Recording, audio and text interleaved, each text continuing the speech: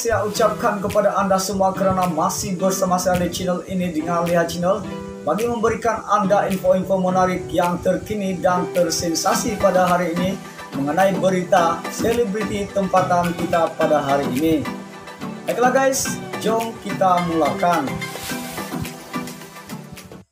Juara Gegar Vaganza 2 GV2 Siti Nurdiana tidak malu mengakui dirinya seorang penyanyi kampung malah bangga dengan status tersebut. Siti Nurdiana atau lebih mesra dengan panggilan anak itu memberitahu dia bangga dengan status tersebut karena menurut si gelaran itulah dia berada di industri hiburan tanah air. Alhamdulillah saya sebenarnya berbangga kerana daripada penyanyi kampung itulah saya masih dikenali sehingga sekarang. Dengan lagu-lagu yang meleleh-leleh dan tangkap lintok itulah peminat mula mengenali saya. Menurut si GB2, saya kumpul peminat-peminat baru pula dan bertambah ramai sekarang katanya kepada Astro Gempak.